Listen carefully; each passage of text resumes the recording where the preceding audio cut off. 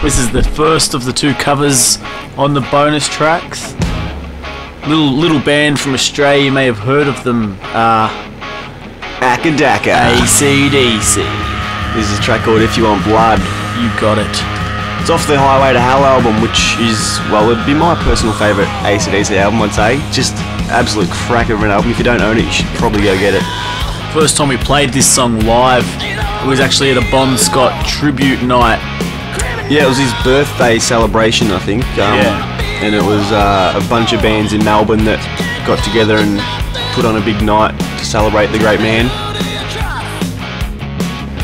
We didn't change much when it comes to, you know, covering a song. You can't really change a lot with an ACDC song. It's almost sacrilege. We, we played it a bit faster, I guess, but other than that, we just ripped it out like ACDC would live, I guess. Yeah, it just stayed pretty true and just, you know, um, Meat and potatoes, rock and roll. that's what they're all about.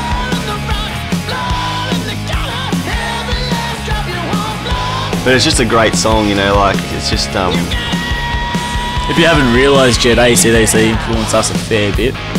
and I think they've probably influenced every band to ever come out in the last 30 years. Pretty fair to say, I reckon. Rock and roll band, yeah. in one way or another. But um, the reason we chose this particular song was probably just because it's lyrically it probably talks about us a bit, you know. In a way, it's sort of just like being on the street and four dudes in a band just trying to not die.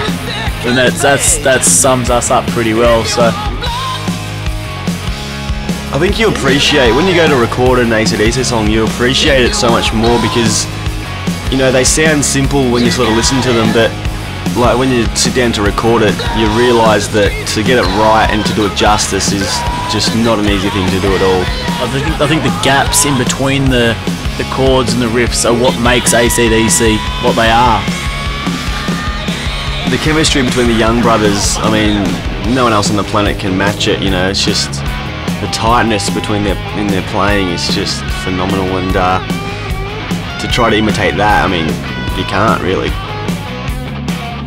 With Angus's solo, he always starts low and builds his way up. Benny didn't play Angus's solo as such, but he did emulate a lot of these these ideas. Yeah, he sort of used that sort of formula in a way and yeah, made keep it his own. Keep it ACDC like, but Yeah. put a bit of Ben Laguda over the top. I remember in the studio when I was, uh, you know, doing the drum track here, and I, I wanted the toms to just be huge. I said to Ricky, man, you just got to make those sound like thunder. And I think he did a pretty good job there, just absolutely ginormous. Yeah, it comes through a lot more in that Yeah. bit, that bit there. Yeah.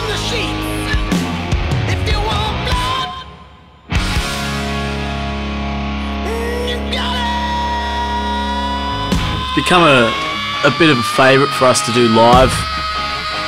I guess, I mean, we do other covers as well, but this one's a real party anthem, really gets everyone involved.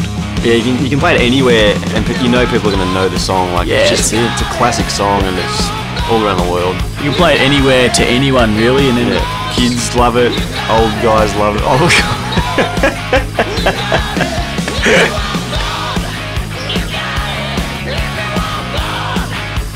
One of the little things we changed from the original is the outro. We we added another rock out bit here just just to keep it going, get that live feel, I guess. Put another quick little solo at the end. Wouldn't be a massive interpretation if we put if we didn't put another solo in. That's kind of Yeah. what we're about. That's if you want blood. You got it. And if you enjoyed that, Wait, Go buy the album Highway to Hell. You will fucking love it. By ACDC.